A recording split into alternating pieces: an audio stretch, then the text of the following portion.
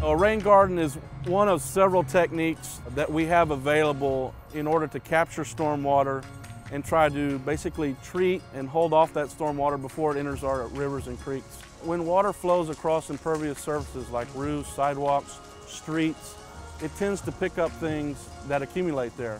Things that come off the vehicles, that come that may settle on the roof. Non-point source pollution uh, for the average homeowner is when things like fertilizers, trash, and debris are picked up by rainwater falling on the surface and taking that rainwater off-site to our creeks and our rivers. You've got the home, you've got the sidewalks, you've got all those impervious surfaces that are increasing the amount of runoff. The rain garden is a way to capture that runoff, use it on site, be able to use the soil profile for it to infiltrate and treat any water that might pick up certain things as it's moving through the landscape. Rain gardens really do help to mitigate some of the flooding events that we have in San Antonio. It will not alleviate every event, certainly, but it definitely will help to eliminate a lot of the runoff that we occur just in normal rains. That also helps to capture a lot of the non-point source pollution that occurs in our city. We'll be capturing it and then it will be filtered out through the native plant material in the rain garden.